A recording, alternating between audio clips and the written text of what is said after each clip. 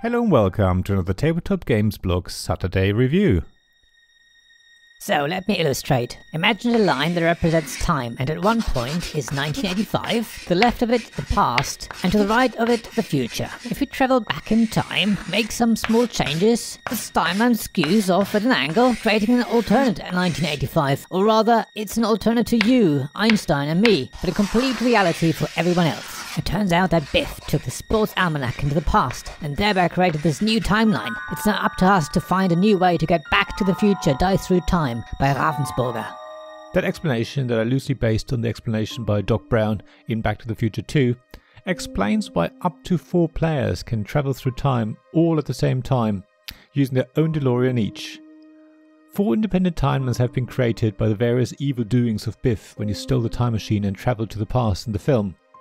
However, you can also play the game with two or three players, of course. Just imagine that some of the temporal paradoxes somehow resolve themselves in such a way that it's impossible to tell whether the extraneous alternate time streams are actually different or not. Time streams, temporal paradoxes, multiverses, and alternate futures are all very complicated.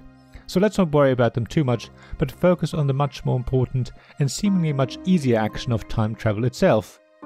You and your other self's job after all, you're all Martys or Doc Browns, is to travel through time and restore temporal balance by ensuring certain events occur and restoring items to the proper place and time, as a letter by Dr. E. Brown Enterprises tells you on the back of the game board. Yes, this is a cooperative game where all of you can communicate with each other using some not yet understood temporal device, but none of you shall ever meet in the same place and time, or you, and I quote, could destroy the entire universe as that same letter helpfully explains. As I said, don't think too much about the science behind all this, but give yourself over to the wonderful world of the Back to the Future franchise. And wonderful the game truly is. Everyone gets a real DeLorean, well, a real scale model, which is highly detailed and comes in the four possible player colours. There's nothing stopping you making it lift into the air and fly into the future, or the past, depending on where the next temporal event is that needs fixing. I just wish you could actually swivel the tyres like the real car does in the second film. Anyway, so you're all working together going to one of the five different locations in one of the four different timelines to fix temporal events, which you draw from a shuffled pile of cards at the beginning of each round. By rolling dice and hoping you get the right combination of symbols you need to fix things, pick up items, and return them to the proper place and time. I know I've made this sound very boring, but it certainly isn't. Yes, there is a lot of luck involved in this game, and when you play for the first couple of times, you do get the feeling it's impossible to win this game. Because if you run out of time, you lose, and you feel like you all need an extra dice to have any chance of dealing with the ever increasing amount of paradoxes. However, there are a lot of ways to deal with the luck you dealt. The randomness can definitely be handled and shaped, and once you've played the game a couple more times, you've worked out what you need to do and how you need to go about things. You will also start to harness the power of rippling dice through time so the next player can deal with events that maybe you couldn't have dealt with on your own.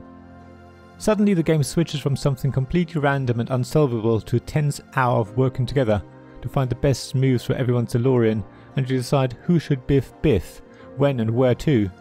You as a team develop strategies and tactics to finally beat the game. Of course, all games of this ilk beat you more often than you beat them, but the odds do get better over time and you do feel more and more like you control your own luck.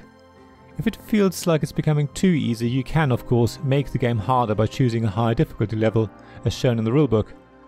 If you like cooperative games, then you will like Back to the Future Dice Through Time just as much. My wife is a testament to this. It's one of only a handful of games that she kept asking me to play, which means a lot. If you love the Back to the Future films, then you will love this game. I'm a great fan of all three films, having them all on DVD. I know, I'm showing my age. And the little DeLoreans are just wonderful. All of the components in the game are of great quality as you can see in my unboxing video, so you should have a lot of fun. Anyway, I've got to go, I'm almost out of time. Time for me to do a bit of time travelling.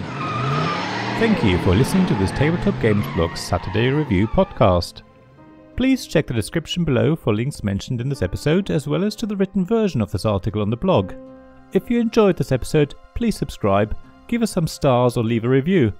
Please also tell your friends about me, and if you want to offer financial support, check out my Patreon Ko-fi pages, links to which you'll find in the blog at tabletopgamesblog.com. So thank you again for listening, and I hope to see you again soon.